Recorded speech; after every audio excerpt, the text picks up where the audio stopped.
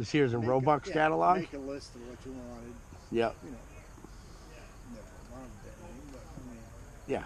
do something to do. That was when they had Red Ryder BB guns and Yeah. and all that. That was probably when Sears bought fur too, huh? Yeah. Yeah. You could send them your fur, huh? They bought fur up to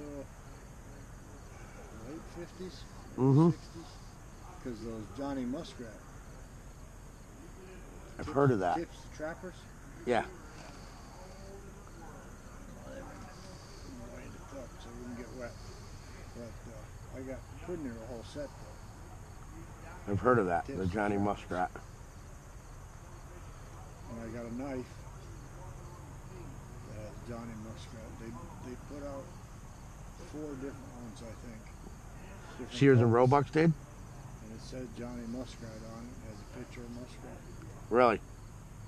If you ever see one someplace, Make sure you grab it. under a hundred bucks for it, you grab it. Yeah. I'll give you a hundred bucks for it when you can find.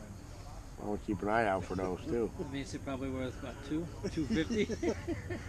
I did I did sell one in Pennsylvania to uh, Tom Parr. Right? It's Yep. Head of the trap collectors. Yeah.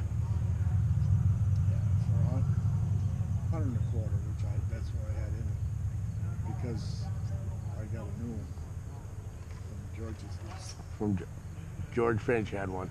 Of course, probably wasn't much George didn't have. And he had never used it. I mean, it was it's pristine.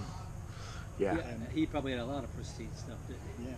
Well, I got I got knives. I got a couple here with me that are bought one's a buck and That George had. yeah, and I got a bunch of them at home too, but I don't know what the fuck they were. Try eBay.